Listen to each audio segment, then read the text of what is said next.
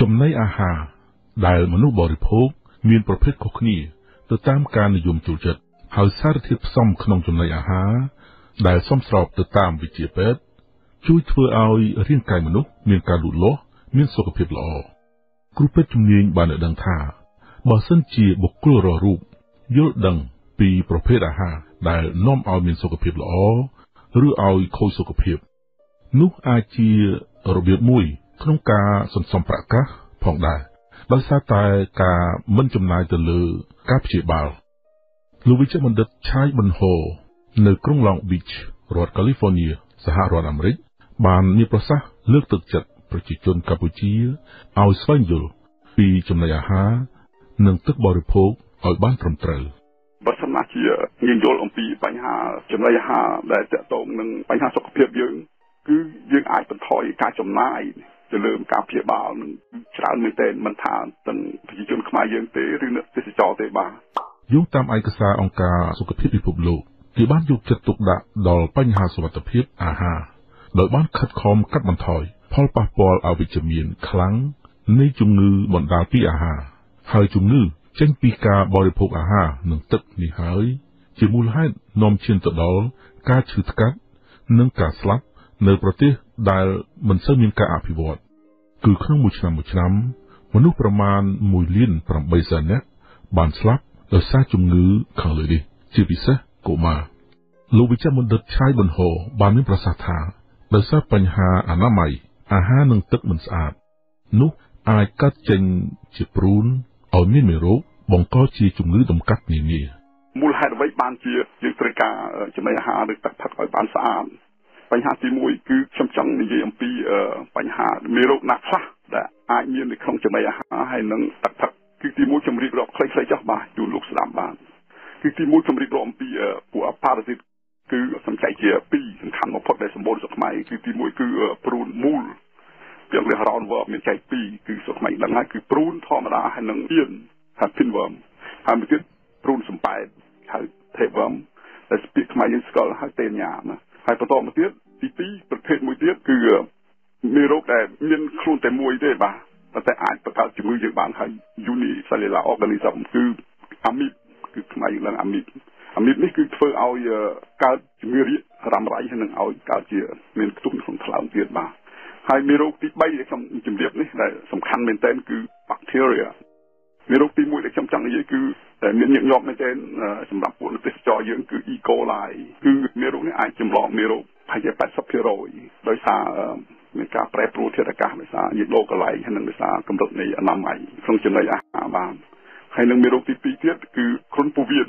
ហើយមេរោគទី3គឺរាគមូល Shigella ហើយទី4គឺមេរោគមួយទៀតគឺដោយសារការធ្វើចំណីអាហាររៀបចំចំណីអាហារនៅតាមភោជនីយដ្ឋាន គឺមេរោគនេះដោយសារការរៀបចំចំណីអាហារឬផ្ទុកដាក់ចំណីអាហារបានល្អបង្កើតសាមេរោគមួយឈ្មោះថា Staph aureus មេរោគនេះគឺឲ្យយើងជំងឺហៅថា food poisoning គឺបើយើងញ៉ាំហើយយើងសឹងតែចេញមកពីកន្លែងពុជនីយដ្ឋានមិនតាន់ផងបាទគឺចាប់កោពុះគ្រប់គ្រប់ហើយនឹងធ្វើឲ្យយើងរាករូបភ្លាមហើយនឹងប្រភេទមេរោគទី4គឺពួក virus ខ្ញុំចែកជា2ចុះសំខាន់បាទគឺទី1គឺ hepatitis A ហើយនឹងទី2គឺ ទោះបីជា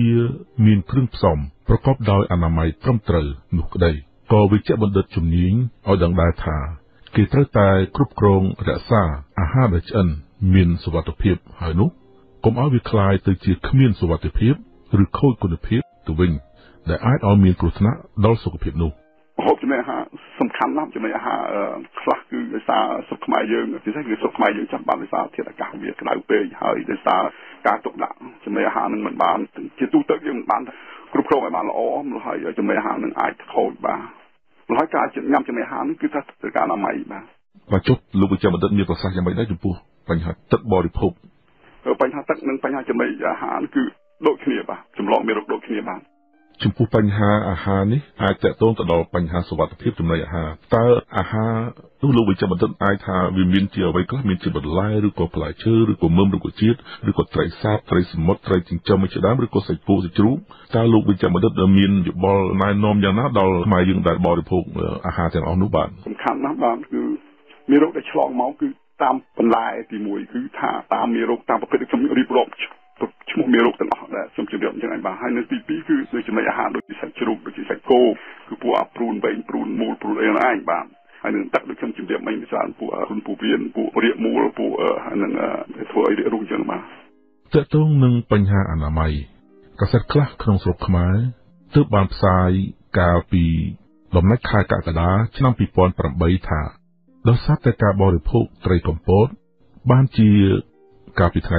29ខែកក្កដាឆ្នាំ2008កន្លងទៅ នៅភូមិរអាងក្រោមឃុំរអាង ស្រុកកំពង់សៀមខេត្តកំពង់ចាមបរិប3នាក់ជាបងប្អូនបង្កើតបានរងគ្រោះថ្នាក់ម្នាក់ស្លាប់និង2នាក់ទៀតបានត្រូវគ្រូពេទ្យនៅមន្ទីរពេទ្យខេត្តជួយសង្គ្រោះទាន់បន្ទាប់ពី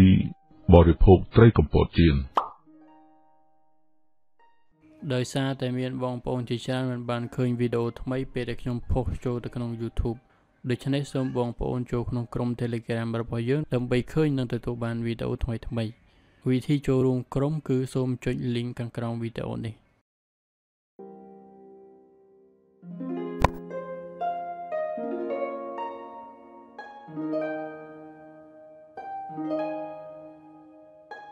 អ